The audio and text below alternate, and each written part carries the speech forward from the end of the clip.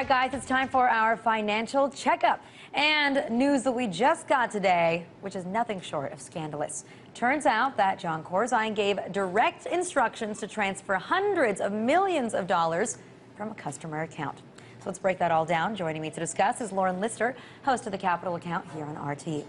Lauren, thanks so much for joining us tonight. Thank you for having me. All right, so let's get into this entire MF Global scandal that we've been seeing. I mean, Jon Corzine was on Capitol Hill. He was testifying before Congress. You do that after you swear an oath. And uh, we have a little, a little tidbit of what he said when he was there. Let's take a listen. I simply do not know where the money is or why the accounts have not been reconciled to date. So what do we know now? Okay, yeah. so the takeaway from that is him saying, I don't know where the money is, which is what we've seen with this, okay? Everybody that I've spoken to, because uh, obviously for viewers that are new to this story, the issue here is MF Global went bankrupt and $1.6 billion in customer money is missing, okay? Customer money from segregated accounts it's like a bank account, Alyona. It's not supposed to be taken and used by a brokerage firm. That is sacrosanct. That is against the regulations. I mean, this is caused, uh, I mean, a massive amount of. Um, it's just roiled U.S. markets and faith in U.S. markets from all over the world. So this is has really large implications. It's a really big deal. There you have Corzine saying, I don't know where the money is. Everybody goes, come on, this is criminal. This is fraud. Why isn't the CEO being held responsible? And when I say people say this is criminal, these are former regulators. These are people whose money has been stolen, that are hedge fund managers, lawyers, pro bono attorneys that are representing customers. I mean, a wide swath of people, Alyona, that we've talked to because we've been following this story from the beginning. So yeah, what we have, have been, uh, you know, on top of it every yeah. step of the way. But it's not only that the CEO hasn't resigned yet. I mean, these guys were getting bonuses just the other week, too. Well, we found out they the may. They may. The trustee wants to, them, yeah. exactly, the trustee may give them bonuses. The trustee is a whole other sketchy issue. But what has come out, Bloomberg has obtained a memo from the treasury of, uh, the treasurer of MF Global at the time, from October 28th, just days before they went bankrupt, saying that Jon Corzine ordered the transfer of customer funds from a customer fund account, $200 million, to JP Morgan to make up for a shortfall. So there is an email allegedly saying that Jon Corzine knew about this transfer. So that's the first big, huge issue. Uh, and the second is that JP Morgan, which is a huge through line in this story, Alyona, this is really a too big to fail angle where JP Morgan seems to be pulling a lot of the strings here. They knew that these were customer funds. They the thing, anyway. well, yeah, they asked for a letter saying that these, because there can sometimes be MF Global money in with customer fund accounts. They asked for a letter making sure that these weren't customer funds. They never got the letter. They kept the money anyway. So there's all sorts of big issues that this brings up. It'll be really interesting to see what happens on a hearing Wednesday.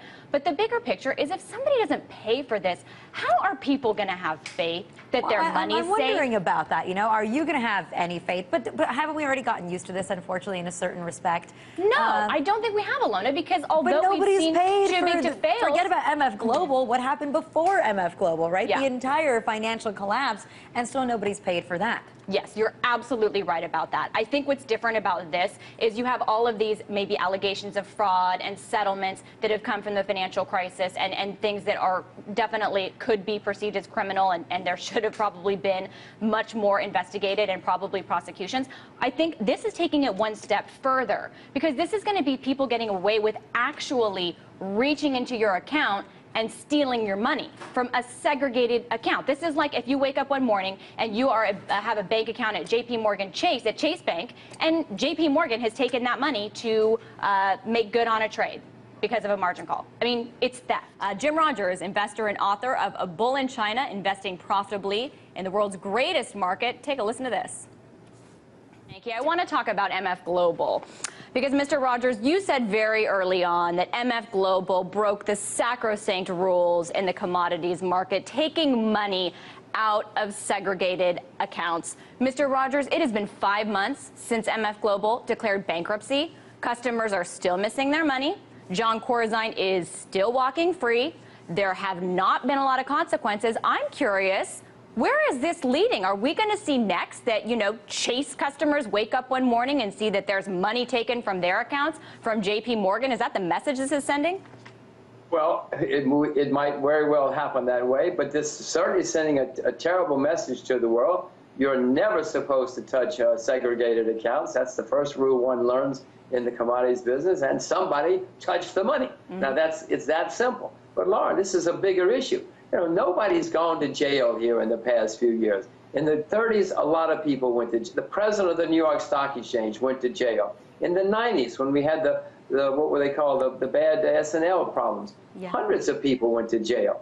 Nobody has gone to jail here. This is just staggering. And the problems and the, the misallocations, if you want to be nice about it, have been worse than ever. And yet nobody has suffered, And Mr. Rogers, I think except the poor victims. except the poor victims. I think it's interesting you said the message it sends to the world sitting there in Singapore. You can attest to the fact that this is not just the U.S. that is getting this message, the world is getting this message. But on the point that, that you made about how people have not been prosecuted, people have not been put in prison, Mr. Rogers, we have talked to a regulator during the S&L crisis who was the director of litigation who saw that bankers that had committed corruption were prosecuted for that. We've spoken to pro bono attorneys that are working on behalf of customers in this case. We've spoken to futures uh, industry veterans who are just so shocked that this has happened and are investigating what is going on. And yet they're all saying this is fraud, this is criminal, and nothing is happening. Do you think there's something bigger going on here? And if so, what is it? Well, there's obviously something bigger. I'm not sure what it is. It just may be more incompetence in Washington or more covering our behinds in Washington.